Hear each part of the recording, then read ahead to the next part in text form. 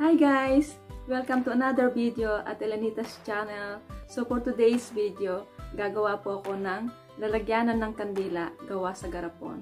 So kung gusto niyo po makita kung paano po gagawin, samahan niyo lang po ako. Okay guys, ito po yung mga gamit na gagamitin ko. Meron po tayong gunting dito, yung brown na tali, pangdikit, tatlong garapon na iba-iba yung size at yung crop tape na beige. Iba-iba din yung size niya. So, yan po lahat ang gagamitin ko para makagawa ng candle holder. Lalagyan ng kandila. Umpisa na po tayo. Tatanggalin ko muna itong mga ibang garapon dito. Tapos, itatabi ko muna to para meron akong mapaggalawan dito. Hindi muna natin sila sa tabi. So, ang una ko pong gagawin is um, ididikit ko po yung crop tape dito sa garapon. Pero bago po yan, syempre titingnan ko muna kung hanggang saan ang ilalagay ko.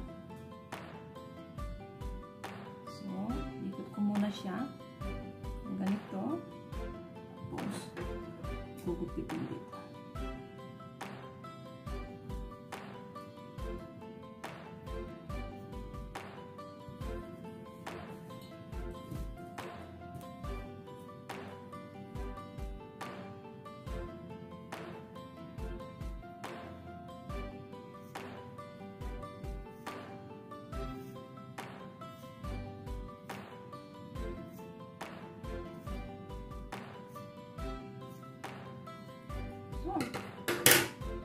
Natin Tapos, ang pangalawa kong gagawin is, lalagyan ko siya ng glue.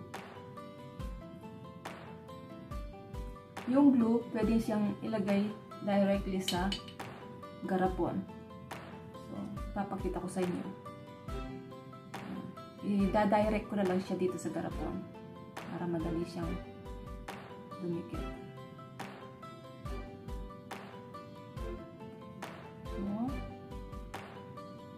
Pwede rin lagay yung glue dito sa crop tape.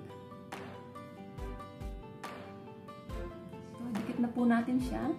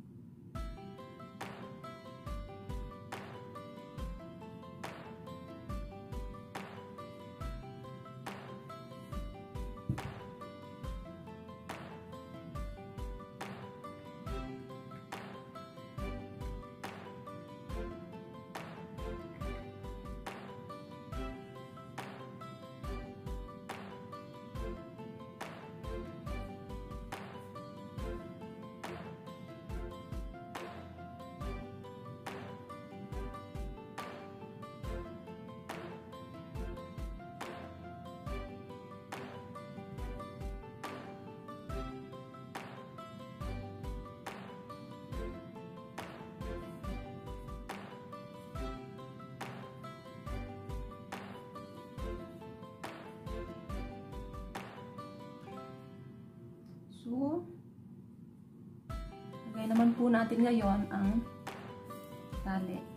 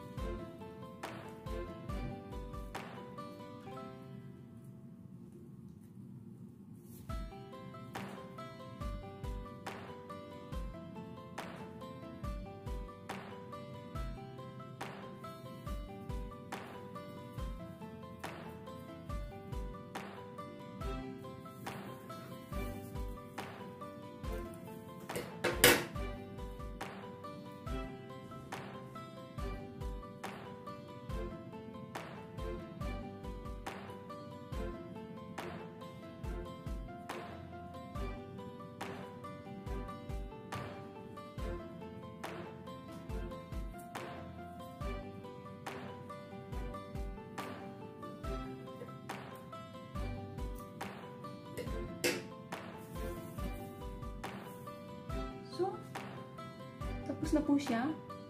Ito na po yung kalalabasan.